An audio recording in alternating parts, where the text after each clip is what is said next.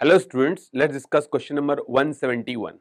The question is, if you ligate a foreign DNA at PST1 site of antibiotic resistant gene in the vector PBR322, the recombinant DNA will, now if you look at the options, lose tetracycline resistance, lose ampicillin resistance, lose both tetracycline and ampicillin resistance, maintain both tetracycline and ampicillin resistance. The answer is lose ampicillin resistance character. Now, how, how it will lose ampicillin resistance character?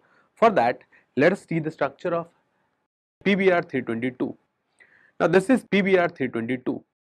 It has two marker gene, ampicillin resistant gene and tetracycline resistant gene. These are the two enzyme which cuts ampicillin resistant gene PST1, PVU1. There are two enzyme which cut tetracycline as well BAMH1, SAL1. So, in the question we asked if you cut the PBR322 plasmid with PST1 then what will happen?